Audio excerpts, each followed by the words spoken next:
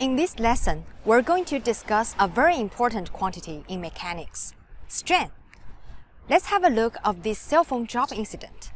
Not sure if this happens to you a lot, but it's a familiar scenario for me. In fact, engineers in mobile phone industry needs to investigate drop test of their product so as to create more robust design for the cell phone itself or for its accessories. Driven by gravity, the cell phone drops vertically and then hits the ground. The deformation of the cell phone contains two parts. One part is the rigid body motion. The cell phone moves in the air as a holistic body. The other part is when the cell phone hits the ground, distortion occurs at the corners in contact with the ground. So here's the question. Where does the most critical deformation occur and how to quantify it? The answer to these questions in most cases are exactly what engineers are looking for. We know that the definition of deformation is the transformation of a body from a reference configuration to a current configuration. However, deformation is not the answer to our question here.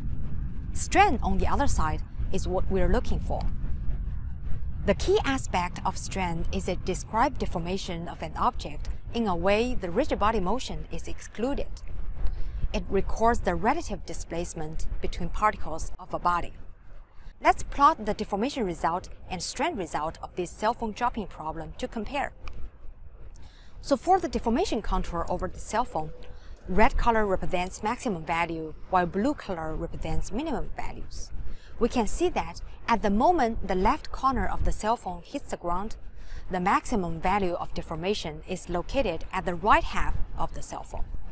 The corner that hits the ground is not even included by the red area.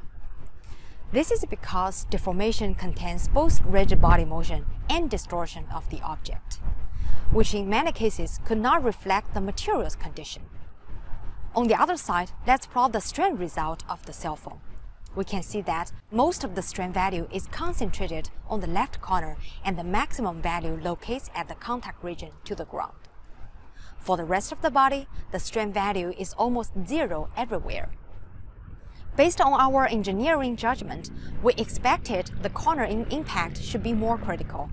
And clearly here, the strain contour provides more interesting presentation of the deformation, which draws our attention to the corner with large distortion. And that's why strain is needed.